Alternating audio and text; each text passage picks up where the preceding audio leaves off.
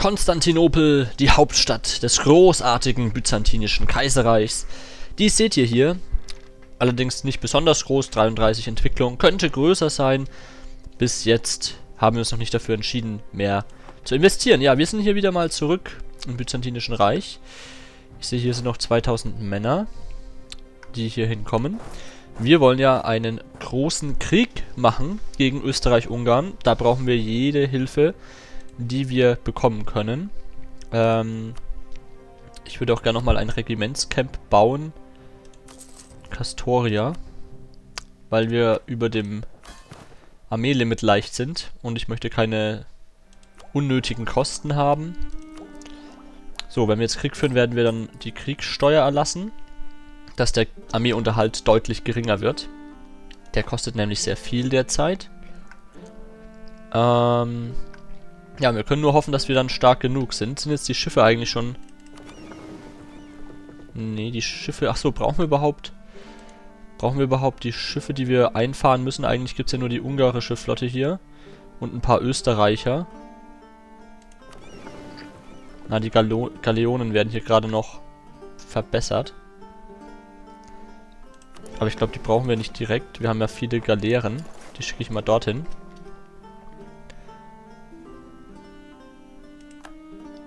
So. Das einmal weg. Hier können wir derzeit nicht mehr machen. So, dann, liebe Freunde, ist es wohl soweit. Wir werden den Krieg erklären, holen die Niederländer dazu. Der Rest geht leider nicht. Und wir hoffen mal, dass die Niederländer ordentlich hier uns helfen und uns unterstützen. Die Österreicher haben aber viele Verbündete, oder? Ja, Spanien vor allem. Das geht nicht. Also Niederlande dazu und wir wollen Dalmatien hier erobern und noch andere Gebiete. Wir bestätigen es. Und bevor ich es vergesse, Kriegssteuer erheben. Das können wir uns derzeit auch leisten. Wir haben genügend militärische Macht. So, wir bleiben mal hier nahe beieinander mit unseren Armeen. Hier sind die Österreicher. Die müssten jetzt gleich in einen Flottenkampf mit uns kommen. Damit können wir gleich mal vier ihrer leichten Schiffe vernichten. Jawohl, sehr gut. Ausgezeichnet. So weit, so gut. Was ist denn hier los? Tunesien im Krieg mit Spanien. Oha. Da holen sich die Spanier wieder neue Kolonien. Wir wollen doch auch gegen Tunesien kämpfen. Mir ist übrigens aufgefallen, wenn wir mal hier die Technologie uns geholt haben, ähm, sollten wir auch die Diplomatiepunkte dafür nutzen, um hier ähm, nicht akzeptierte Kulturen zu akzeptieren. Da haben wir einige in unserem Reich, die da sinnvoll sind. So, dann halten wir mal alles ein bisschen im Blick.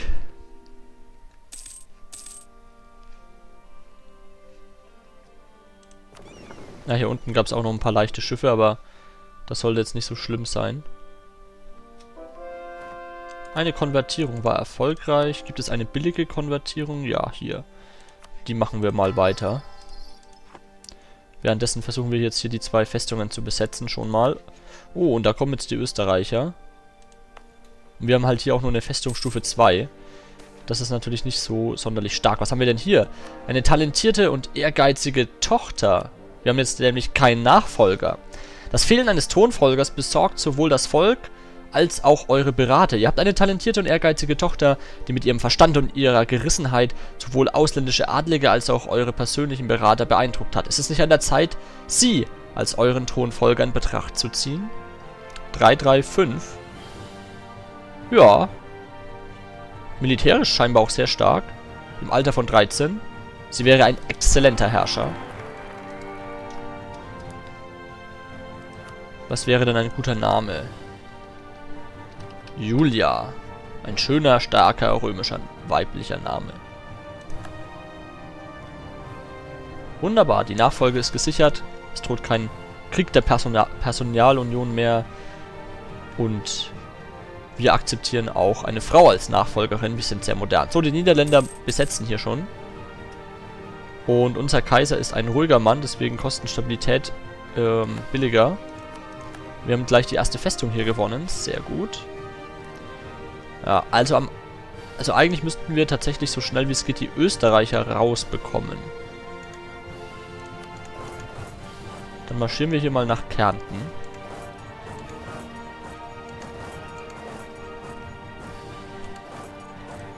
Mit unseren Truppen. Ich frage mich nur gerade, wo sind die Ungarn? Mal ernsthaft, ich sehe jetzt gerade nur die österreichische Armee hier. Wo sind die Ungarn? Mit den großen Armeen. Und unser Kaiser ist auch noch gutherzig. Kriegsmüdigkeit, die geringer ist. Sehr gut. Das ist ja fantastisch. Fantastische Neuigkeiten. So, wenn es gut läuft, erobern wir hier auch noch Kärnten recht schnell.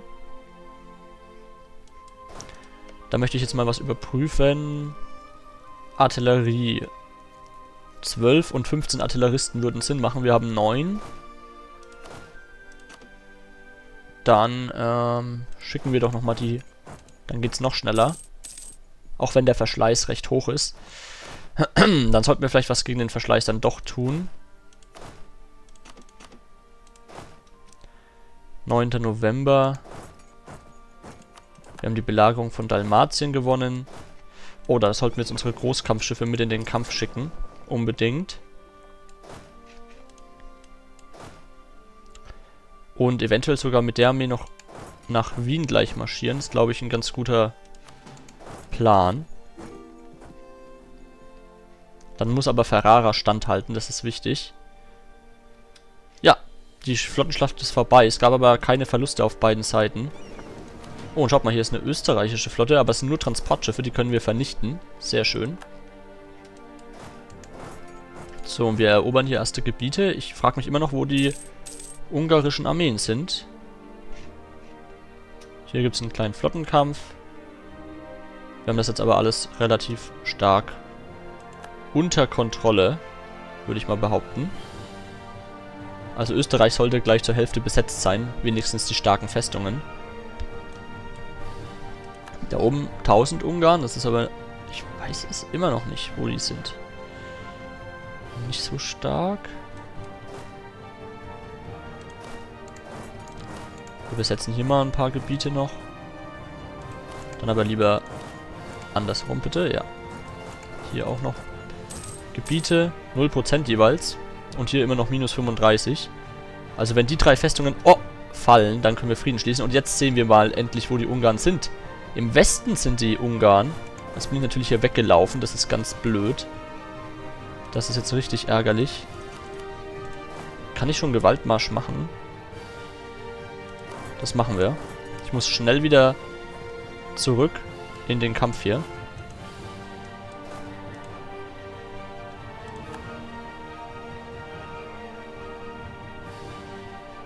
Oh, hoffentlich halten die durch. Jetzt kommen nämlich die Österreicher auch. Jetzt müssen wir hier alles in den Kampf werfen, was geht. Weil wir kämpfen ja erstmal in Unterzahl und mit einem Geländemalus von minus 2. Oh Gott, da kommen auch noch, da kommen auch noch weitere Ungarn. Ach du Schande. Ach du Schande. Können wir noch irgendwas machen? Oh, es gibt keinen guten... Keinen guten... Berater, den wir uns leisten können. Und wir können auch nicht die Ikone derzeit wechseln, oder? Nein, wir haben nicht genügend Ah, verdammt. Das wird eine enge Kiste. Oh, Gottes Willen, das wird eine enge Kiste. Und wir haben eine... Ja, wir haben 40.000 Rebellen. Verdammt, das ist nicht gut. Oh Gott, da kommen lauter Feinde noch. Die Schlacht verlieren wir. Wenn da jetzt nicht wunderbar passiert, dann verlieren wir die Schlacht. Wir haben leider keinen guten neuen Berater bekommen.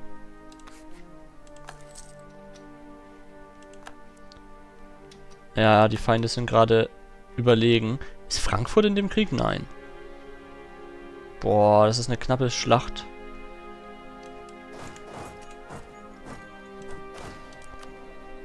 Wann sehe ich denn hier, wann wir den neuen Berater bekommen können? Oh je. Wenn wir die Schlacht hier nicht mal verlieren. 25. Februar. Aber es sind nur 1000 Truppen, die wir noch bekommen. Wir würfeln aber auch so schlecht. Null. Komm, würfel doch nochmal was Gutes. Können wir das nicht nochmal rumreißen? Wie sieht's denn hier jetzt aus? Wahrscheinlich erst im neuen Monat. Ach du Schande. Wenn die Festung hier nur gefallen wäre, hätten uns die Niederländer helfen können. Komm schon, durchhalten, Männer. Wartet bis zum nächsten Monat. Haltet durch. Wir haben den nächsten Monat. Haben wir vielleicht jetzt einen neuen Berater? Keinen guten. Wieder nur Festungsverteidigung. Ärgerlich. Niemand mit Moral oder Disziplin. Ja, jetzt lohnt sich's auch nicht mehr. Jetzt müssen wir hoffen. 1000 Mann kommen noch, das ist aber fast nichts. Der Feind hat 10.000 Mann mehr und mehr Moral als wir, also eigentlich verlieren wir diese Schlacht. Ja, verdammt. Wir haben tatsächlich die Schlacht verloren. Oh, und die 1000 Mann hier verlieren wir auch noch. Ah, und ich frage mich, wo die Ungarn die ganze Zeit waren. Wir hätten hier fast beide Festungen erobern können. Jetzt müssen wir uns hier leider vollständig zurückziehen einmal. Gewaltmarsch können wir auch nicht machen. Egal wohin wir marschieren. Wir kommen nicht rechtzeitig. Okay, jetzt ziehen wir uns erstmal zurück. Verdammt, ja, gleich mal ein Schlag ins Gesicht hier. Die 1000 Männer sterben und wir haben auch noch Rebellen. Ja, und jetzt wollen sie natürlich hier wieder besetzen. Ich hoffe, dass die Festung hier Prag sehr bald fällt. Und das kann doch nicht wahr sein. Ich will hier einen besseren Berater. Das gibt's doch nicht. Oh, die verfolgen uns.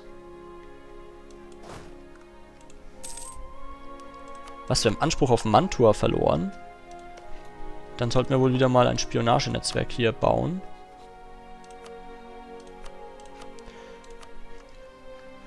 Und das hier mal weg. Und vielleicht auch ein Spionagenetzwerk bei Österreich.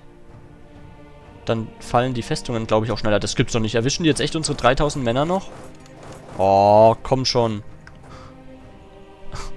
Kein Glück heute. Kein Glück. Und vielleicht noch ein bisschen Pech. Nochmal 3000, die hier sterben. Sinnlos. Und wir haben keine Rekrutenreserve. 2. Mai. Ja, bis dahin sind die Geschichte. Bis dahin können wir es nicht zurückziehen. Nee. Oh je, Leute, oh je. Dafür ist die Kolonie hier mal selbsterhaltend. Wird auch Zeit. Wird auch Zeit. Hier können wir nochmal was machen. Prag ist endlich gefallen. Ah, die Schlacht war echt ärgerlich. Wir können trotzdem die Österreicher noch nicht aus dem Krieg, Krieg hier rausholen.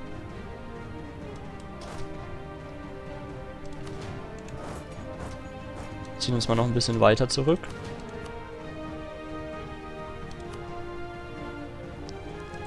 So, ja, und wir haben jetzt natürlich keine Rekrutenreserve mehr. Um jetzt hier schnell vorzurücken. Oha. Aber Moldawien besetzt hier ungarische Gebiete, das ist schon mal sehr gut.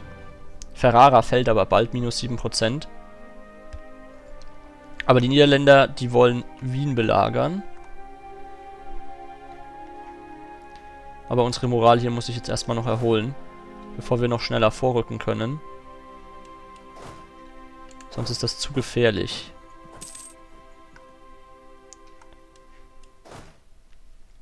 So, wir marschieren mal nach Wien, weil wir müssen jetzt ganz schnell einfach die Hauptstadt erobern, bevor Ferrara fällt. Ja, hier ist Podolien erobert worden, sehr schön.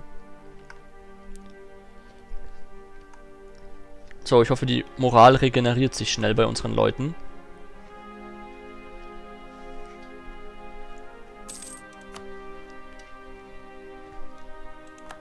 Ja, und die Rebellen in Anatolien sind natürlich sehr erfolgreich.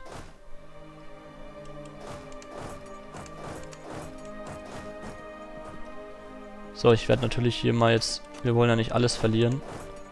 Das hier wieder rausziehen. Oh Gott, hier haben wir auch nullmal Artillerie. Ach, herrje. So, jetzt müssen wir aber echt aufpassen, wo hier die Feinde marschieren.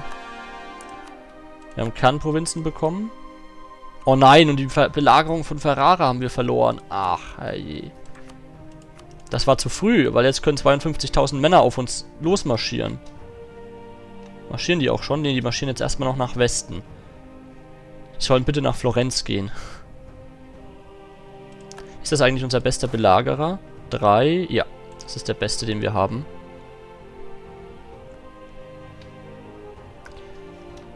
Oh Gott, jetzt haben die Österreicher hier auch noch Bauernaufstand. Wir müssen einfach Wien erobern, dann können wir hoffentlich mit Österreich schnell einen Frieden schließen.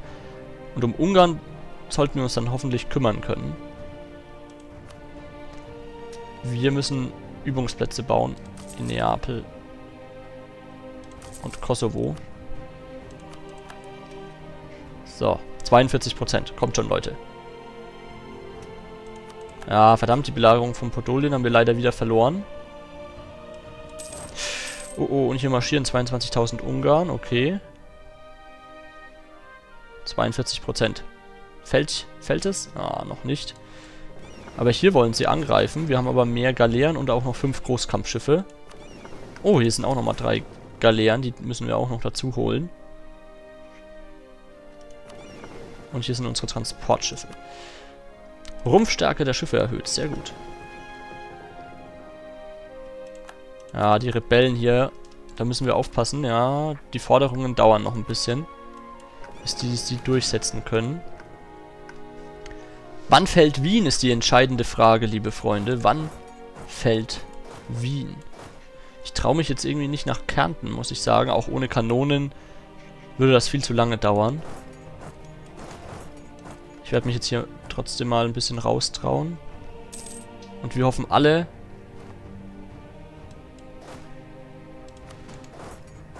dass Wien jetzt fällt. Los! Jawoll! Kaufleute wurden von Spanien verleugnet, das ist jetzt irrelevant. Wir können auch noch eine Technologie machen, endlich. Die Diplomatentechnologie, sehr wichtig für die spätere Kolonisierung. So, jetzt hoffen wir doch mal, ja, wir können Frieden machen mit Österreich, sehr gut. Kriegsreparationen, ausgezeichnet, wir brauchen wieder Geld. Brauchen wir eigentlich Gebiete von den Österreichern? Schauen wir mal ganz kurz. Missionen, ähm... Wo sind wir denn hier jetzt? Erobert den Balkan? Ja. Also die Eroberung des Balkans, die geht bis Lika. Nördliche Grenzen, die bedeuten auch noch Krain und Görz. Ja, wir werden aber wahrscheinlich nicht Krain und Görz beide bekommen, schätze ich mal. Weil wir die Festung Kärnten, glaube ich, nicht haben. Vernichtet Venedig. Dann bräuchten wir auch noch früher... Oh Gott, wir brauchen diese ganzen Gebiete.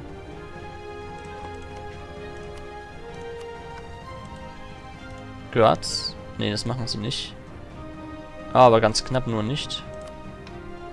Okay, also Guards könnten wir bekommen. Achso, nee, aber das macht keinen Sinn tatsächlich, weil wir sonst so hohe aggressive Expansion haben und Kosten... Mh, hm, nee, das machen wir in einem weiteren Krieg dann mal. Das heißt, ich mache jetzt lieber Kriegsreparationen und sie sollen ihr Bündnis mit Spanien aufkündigen. Und ich hätte gerne noch viel Geld.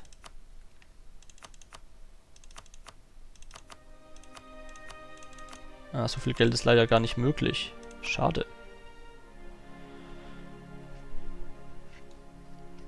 Das Bündnis mit Ungarn, das können sie von mir aus erstmal noch behalten. So, wir schließen Frieden mit Österreich.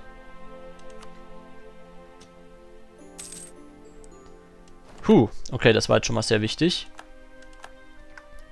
Jetzt müssen wir gegen die Ungarn nur noch vorgehen. Hier sind 31.000 und 22.000. Ähm... Kommen wir jetzt, können wir hier einfach durch Österreich durchmarschieren? Scheinbar schon. Seltsamerweise.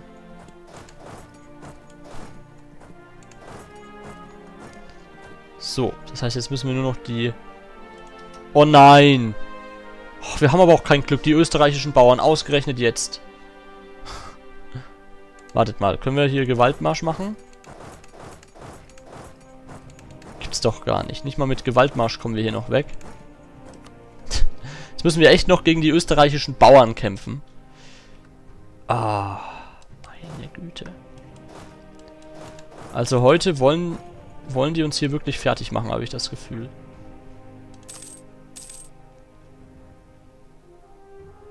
Ja, die Bauern besiegen wir natürlich, aber das sind sinnlose Verluste und das dauert auch ewig. Ewige sinnlose Verluste.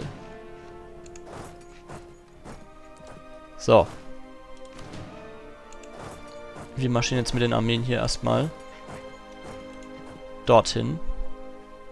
Oh, und hier kommt, kämpft Moldawien gegen Ungarn, aber die werden diese Schlacht wohl oder übel verlieren, Freunde. Ja. So, aber wir haben jetzt nur noch Ungarn als Gegner und haben die Niederländer noch auf unserer Seite. Das müssten wir eigentlich jetzt schon gut drehen können, das Ganze. Äh, genau, und Spionagenetzwerk wenigstens in Ungarn jetzt mal noch bauen. Können wir da jetzt echt durchmarschieren? Obwohl die die Festung von uns erobert haben? Das ist aber kurios, wie ich finde. Wo laufen denn jetzt die Niederländer hin?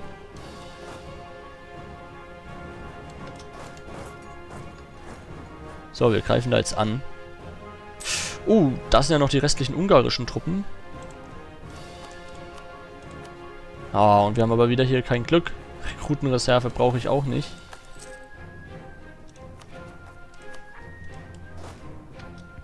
Hier kommt es jetzt wieder zur Schlacht. Oder sollte ich lieber sagen Schlachtbank?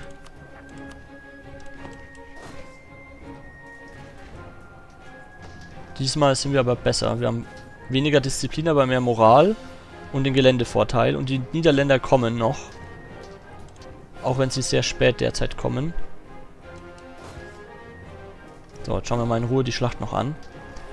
Ja, die Niederländer kommen. Wir verlieren beide viele Truppen. Es ist, glaube ich, gut, dass die Niederländer kommen, aber wir gewinnen die Schlacht noch... Wir könnten die Schlacht vorher noch gewinnen, oder? Mit den Niederländern jetzt auf jeden Fall. So, sehr schön, die Schlacht ist gewonnen und wir haben Bewegungsgeschwindigkeit erhöht. Ausgezeichnet.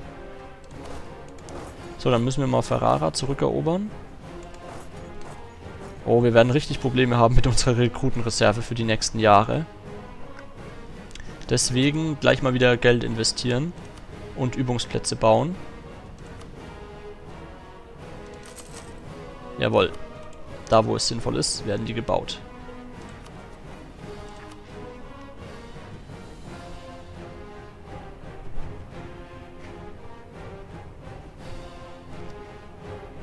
So, Ferrara wird gerade zurückerobert.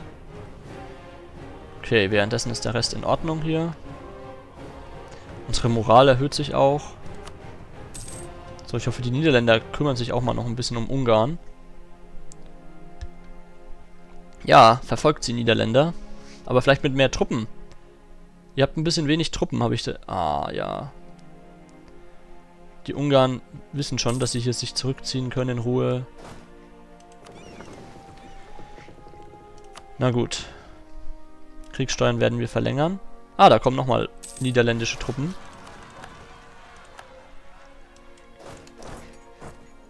Oh, zwei Aufstände.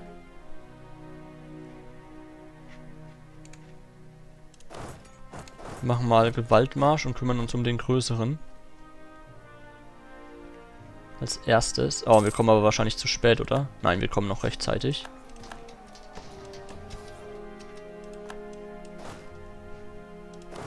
kein Gewaltmarsch mehr und dorthin. Wie sieht es mit den Rebellen aus? Ja, es wird langsam etwas gefährlich, aber noch geht das. Wo sind denn eigentlich die restlichen Rebellen hin? Dann rekrutiere ich hier mal kurz eine Söldnereinheit. Ganz einfach. Oh, da kommen die Ungarn. Oh, die Festung fällt aber auch nicht. Die Festung fällt einfach nicht. 71% und wir haben kein Glück, dass die Festung fällt. Sie greifen uns hier wieder an. Ich hoffe doch, dass die Niederländer kommen. Ja, mit Gewaltmarsch kommen sie.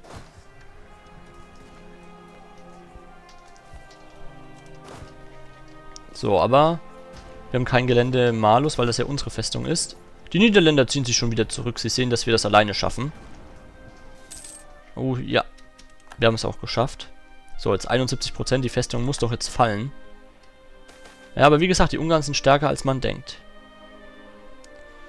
In Luca bekommen wir was. Wo ist denn... Hier ist Luca. 1083. Hm.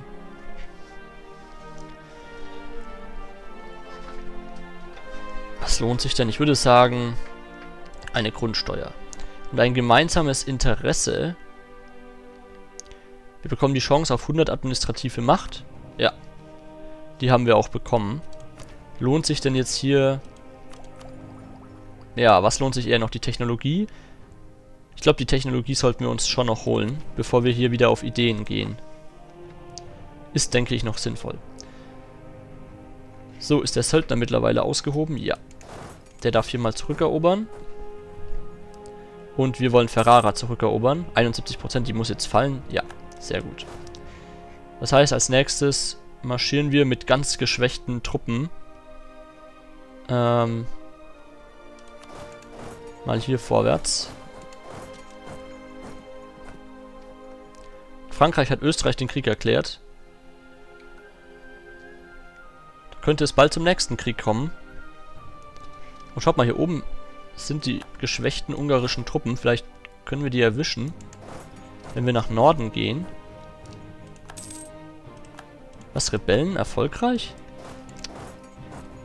Was haben die sich wegbewegt? So, hier erobern wir das zurück. Hatten die nicht gerade noch weniger Moral?